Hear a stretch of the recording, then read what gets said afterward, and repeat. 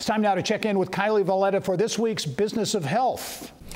Thanks, Gerry. IU Ventures is investing nearly a half million dollars in a startup that centers on patients helping other patients.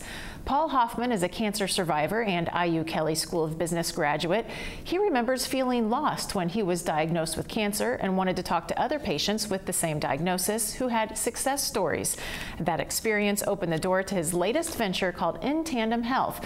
While some health systems do have mentor programs, Hoffman says they're clunky and require medical staff to do much of the legwork. inTandem Health says it's the next generation, adding technology to connect newly diagnosed patients with peer mentors. They can communicate on the platform and a hospital staff member can manage the mentor groups. And so it's also going to empower these patients that are newly diagnosed to have better uh, visits with their doctor. So now they're they're less anxious, and now they have all this information and knowledge, and now they've been given this roadmap from their mentor, and they're going to have much better uh, appointments, which hopefully lead to better outcomes.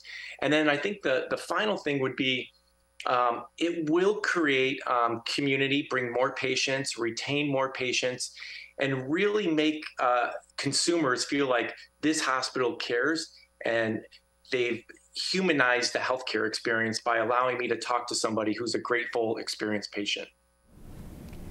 This is Hoffman's second venture. His hospital online billing company was acquired in 2006.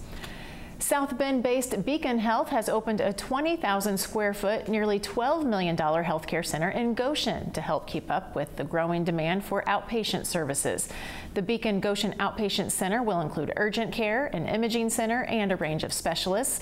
It is the first Beacon location to feature an open MRI and kiosks for patient check ins. As part of a corporate restructuring of its primary care operation, Marathon Health says it has cut 94 jobs. The private company, which splits its headquarters between Indianapolis and suburban Burlington, Vermont, says the cuts amount to about 6% of its workforce and were largely in non-clinical positions.